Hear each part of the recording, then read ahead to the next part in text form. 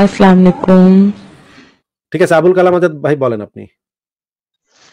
জি ভাই আর একটা বিষয় জানতে চাই সেটা হলো যে কোরআনে একটা আয়াত আছে আমার স্মরণ নাই মুহূর্তে যে কিয়ামতের মাঠে মহান আল্লাহ নাকি দেব দেবতা যারা আছেন তাদেরকে হাজির করে জিজ্ঞাসাবাদ করবেন। তাদেরকে জিজ্ঞাসাবাদের আওতায় নিবেন যে হিন্দুরা যে আমার উপাসনা ছাড়া তোমাদের উপাসনা করো তোমরা তোমরা কি আমার আমার কথা তাদেরকে বলো নাই? এই বিষয়টা যদি একটু বিস্তারিত আহ যদি বলতেন প্লিজ ভাই এগুলো আপনি তাহলে তাফসিরগুলো পড়ে দেখেন এটা তো আমার আসলে বিস্তারিত বলার কিছু নাই এটা তো মানে খুবই হাস্যকর কথা তাহলে তো কোটি কোটি আজাদ ভাই এই জিনিসটা মানে ফ্যাসিনেটিং উত্তর পাবেন মুমিনদের থেকে বুঝছেন? এই জিনিসটা ডিফেন্ড করবে তারা তাই না? আপনি মুমিনদের কাছে এই প্রশ্নটা করে দেখেন যে এই যে কিয়ামতের মাঠে কোন আয়াত আছে আমি আমিও জানি কোরআনে তাহলে তাহলে তাহলে ফারাদ ভাই তাহলে এই দেব দেবতা তো হুজুর এখন কন্টিনিউয়াস করে যে এটা মূর্তি তারা নিজেরা বানায় নিজেরা পূজা করে সব ভুয়া হ্যান তাহলে কিয়ামতের মাঠে যদি তাদেরকে হাজির করে আল্লাহ তো তাদের অস্তিত্ব তো স্বীকার করা হলো না? তাহলে দেব সেটা কেমন হয়ে গেল বিষয়টা? ধরেন ধরেন বিষ্ণু মানে শিব ধরেন কোন একটা দেবতা বানাইছে বানাইছে আল্লাহ যে পুরো মহাবিশ্ব সৃষ্টি করছে। নিজের সাথে নিজের কন্ট্রাডিকশনে পুরো দেবে আসলে মহাবিশ্ব বানাইলো কে? জি তো হ্যাঁ, ভাই ঠিক আছে ভাই। জি ভাই ধন্যবাদ মহিউদ্দিন ভাই আসিফুদ্দিন ভাই ফারাজ ভাই আপনাকে ধন্যবাদ। তো আমি বিদায় নিচ্ছি। ভালো থাকবেন। আচ্ছা, আচ্ছা ঠিক আছে বিদায় জানাচ্ছি আপনাকে। আশরাফুল আমিন আপনাকে আবার হ্যাঁ হ্যাঁ হ্যাঁ ভাই আমি এখন ফ্রি আছি আমি তো অনেকক্ষণ আগে আসছি যুক্ত করতেছি। আচ্ছা বলেন। হ্যাঁ ওই যে এ কাপু বলতেছিল যে আমরা কি অন্যায় করছি মানে আমরা কি খারাপ? বা কি খারাপ এটা?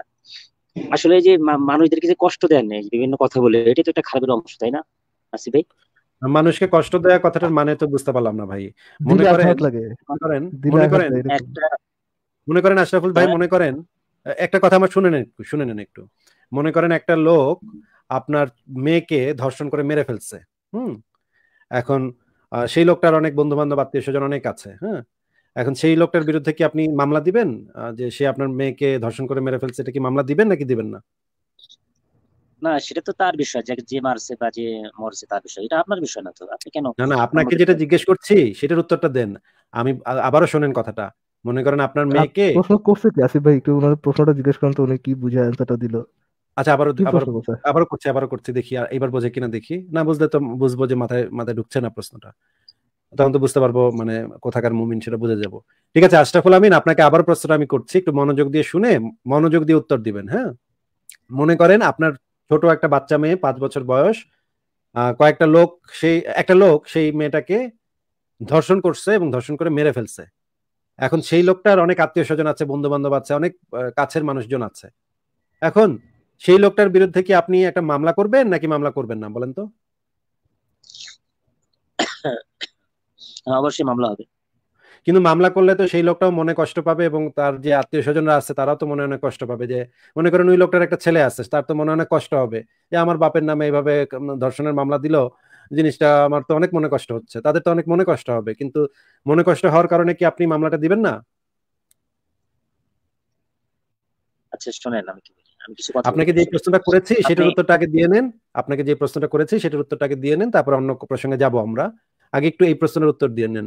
যে ওই যে ধর্ষক ব্যক্তির আত্মীয় স্বজন বন্ধু বান্ধব পাড়া প্রতিবেশী তাদের মনে কষ্ট লাগবে দেখে কি আপনি ধর্ষণ মামলাটা করার থেকে বিরত থাকবেন নাকি? আপনাকে যেটা জিজ্ঞেস করছি যেটা জিজ্ঞেস করছি সেটার উত্তরটা আগে দিয়ে নেন। তারপর আপনি হ্যাঁ, যেটা বলতে চান সেটা আপনাকে বলতে দেব। আপনি এটা সাধারণ সাধারণ জ্ঞানে সবাই বুঝবে। এটা একটা শিশু বুঝবে আপনি যা বলতেছেন। হ্যাঁ সেটাই তো আপনাকে সেটাই এই জন্যই আপনাকে হ্যাঁ। জিজ্ঞেস করছি যে আপনি বুঝতেছেন কিনা? শিশু বুঝবে আমি জানি। এই কারণে আপনাকে জিজ্ঞেস করছি। এই কারণেই আশরাফুল আমিন সাহেব এই কারণে আপনাকে জিজ্ঞেস করেছি।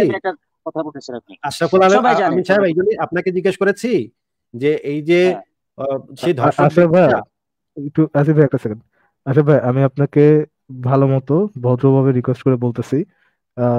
একটু কাম ডাউন হয়ে ভদ্রভাবে আলোচনা করেন। আপনার বয়ান শোনার জন্য আমরা বসি নাই। শুনে নেন আশরাফ ভাইয়া যখন কথা বলব একটু মন মনোযোগ দিয়ে কান খোলা রেখে শুনে নেন। একটু কাম ডাউন করে শান্ত মতো আসিফ ভাইয়ের কথা শুনেন রেসপন্স করেন যেন আপনি যখন কথা বলবেন তখন আসিফ ভাইকে shut the fuck up shut the fuck up কথাটা শুনে তারপরে রেসপন্স করেন। আচ্ছা। ভদ্রভাবে আসিফ ভাইয়ের কথাটা শুনেন মনোযোগ দিয়ে শুনেন এবং স্পেসিফিকলি অ্যান্সার করেন। কেন আপনি যখন কথা বলবেন তখন আমাদেরকে থামাইতে না হয় আপনার কথাটাও যেন স্পেসিফিক হয় এবং ওই কথাটার যেন আমরা স্পেসিফিক অ্যান্সার দিতে পারি। আচ্ছা আমাকে কথা বলার সুযোগ দিবেন এবং আমার কথা বলার ভিতরে দিব যখন আপনি যখন আমরা দেখব যখন আমরা দেখব যে আপনার ওই কথা বলার টেন্ডেন্সিটা আছে, আপনি শান্ত হয়ে কারও কথা শুনছেন এবং সেই অনুযায়ী রেসপন্স করতেছেন, তখন অবশ্যই আমি আপনাকে কথা বলার সুযোগ দিব। হ্যাঁ ঠিক আছে। আমি আবারও আপনাকে যেটা জিজ্ঞেস করছি যে সেই যে ধর্ষকের তো অনেক বন্ধু বান্ধব আছে, আত্মীয় স্বজন আছে, অনেক কাছের মানুষজন আছে। তাদের মনে কষ্ট লাগবে দেখে কি আপনি ধর্ষণ মামলা করা থেকে বিরত থাকবেন? নাকি আপনি যেটা সত্য সেটাই করবেন, যেটা নৈতিক সেটাই করবেন? ওই লোকটা যত ক্ষমতাশালী হোক না কেন বা যত পাড়া প্রতিবেশী থাকুক না কেন যত বন্ধু বান্ধবী থাকুক না কেন আপনি আপনার মেয়ের ধর্ষণের বিচার চাইবেন কোনটা করবেন?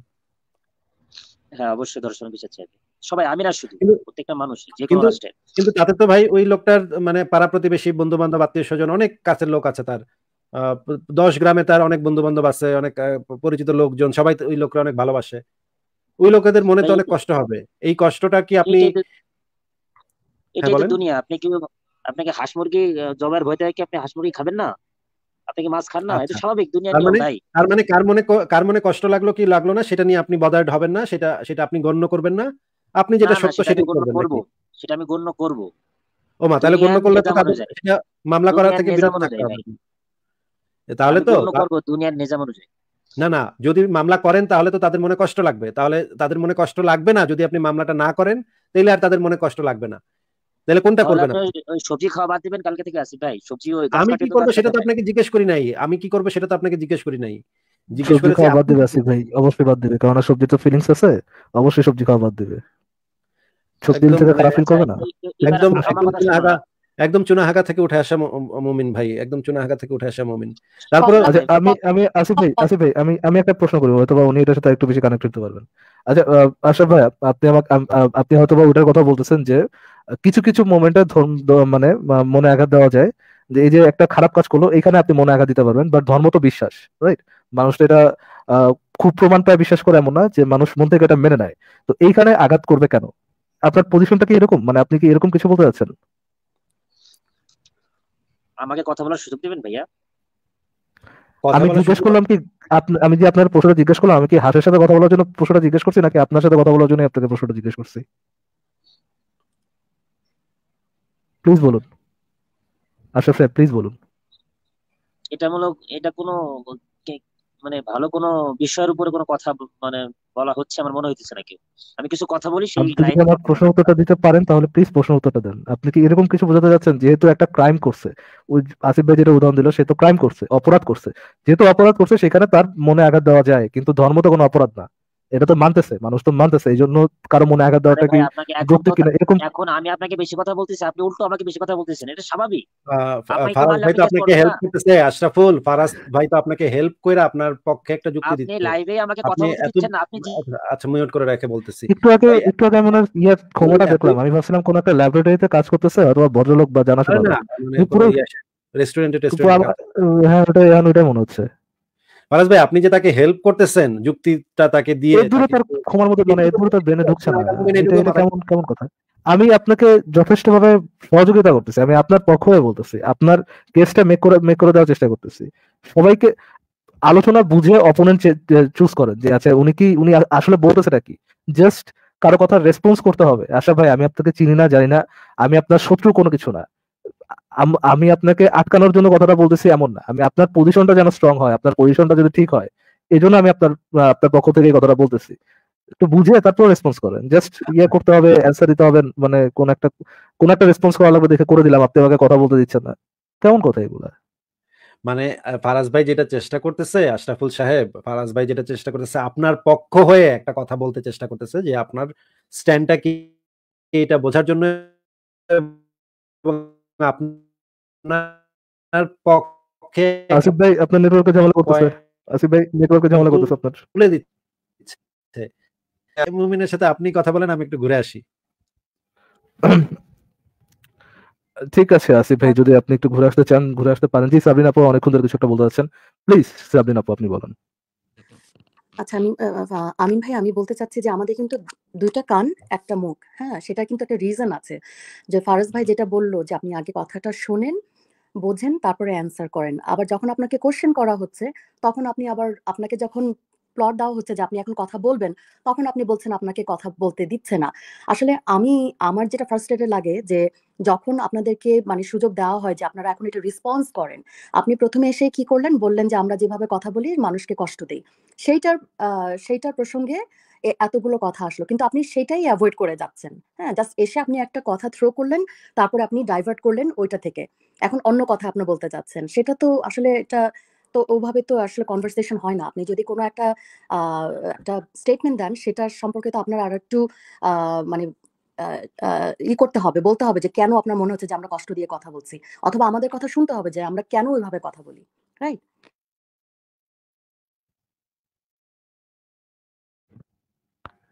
জি, আশরাফ ভাইয়া প্লিজ বলুন আপনি যেহেতু আসিফ মহিউদ্দিন ভাই নাই, আপনি আপনার কেসটা আরেকবার মেক করতে পারেন। প্লিজ একটু আনমিউট করে বলুন।